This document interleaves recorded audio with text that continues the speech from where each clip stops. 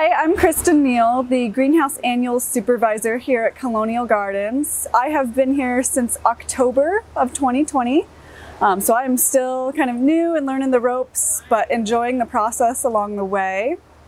I am originally from North Carolina, where I got a degree in horticulture from North Carolina State University. Go Wolfpack!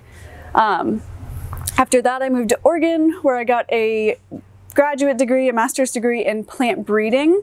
So my background is ornamental plants, um, but specifically plant breeding.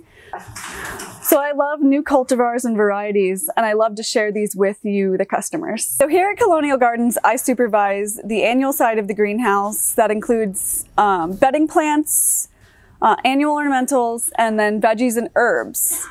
I also supervise our production. Colonial is super unique in the fact that we produce a lot of the plants that we sell here on the property. So in our three greenhouses right outside of this store, we are currently growing a lot of the summer combos and spring combos that we will be displaying in our store and selling to you. We're also growing a lot of our strawberries and rhubarb, veggies, everything so that we can have the freshest product and the nicest product to give to you. So we also got questions about container gardening, specifically with vegetables. And I wanted to let everyone know you can do that um, with any kind of vegetable. If you need specific instructions on like what you're thinking and need help putting something together, please feel free to come in and contact me or any of my staff. We would love to help you out. But any vegetable can be done in container gardens. Um, you just have to watch how much soil you have, how much watering you're doing, and making sure that they're getting the nutrients that they need. But like I said, we would love to help you through that and talk you through that here at Colonial Gardens. So one of our other questions was how you keep pests away from herbs and veggies that you want to eat.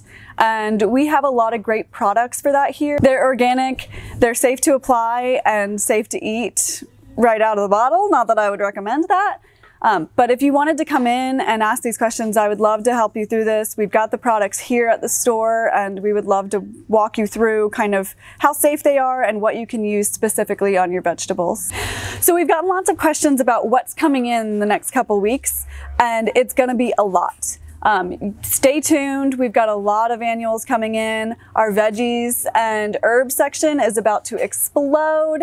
So keep coming into Colonial, keep checking it out. Feel free to ask us questions over the phone and via Instagram or wherever, and we will let you know what we've got in stock. So the last question I'm gonna answer is, what is my favorite plant? Um, and this one's really special to me. So my favorite plant is gonna be a tropical houseplant called the piggyback plant, also known as Tolmiea menziesii, and we carry them here in the store. This plant means a lot to me because it was one of my mom's favorite plants growing up and we couldn't find it for a really long time. And then I came here the first day and I found it here. So the piggyback plant is really unique in the fact that it's got little plants that come right out of the top of your leaves